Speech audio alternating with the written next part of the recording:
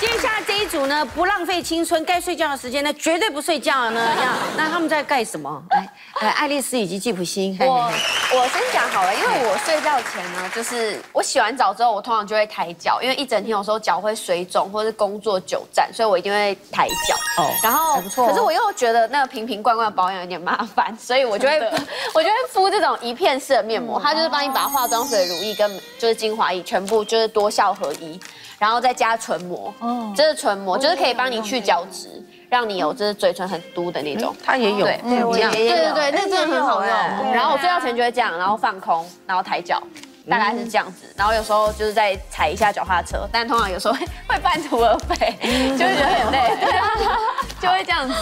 阿契普心思，我也是有时候会抬脚，就是如果穿高跟鞋一整天，然后脚很酸的话，也是会抬脚。然后再来就是我有这个，就是对，我会就是边滑手机边看剧，然后边这样滚我的错哎，脸。哇，手都不会酸哦。对，反正边拿手机一边滚，应该定格吧？就是会这样子，因为因为我没办法，就是我没办法，就是专心的这样按，我会觉得很无聊，所以就一定要边看剧，然后边这样子。再来就是，这是我很喜欢的乳液，就是我会擦我的身体还有脚，然后它它这个味道就是它是那个英国梨。